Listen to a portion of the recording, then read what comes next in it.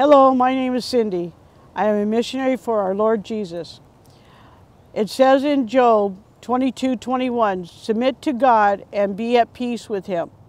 And this way, prosperity will come to you.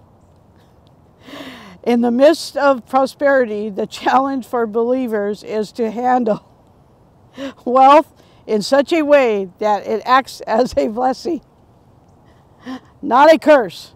As the Lord gives you a lot, you should bless others after you have taken care of you.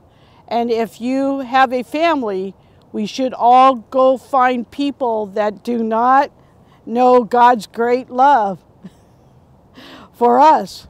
But for me, I give food to the homeless like I will give a can of peaches to Will, I have a pull top so that they don't have to have a can opener.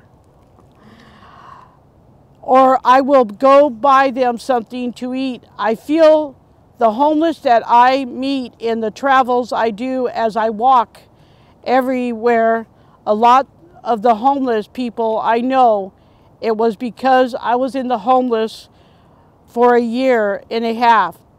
I meet people on the three buses I take. Some are believers, some are not, until I tell them the miracles that God has done in my life.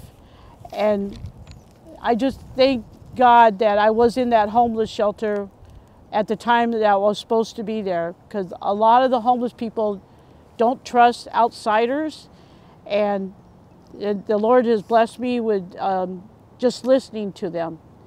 And I just thank you. Amen.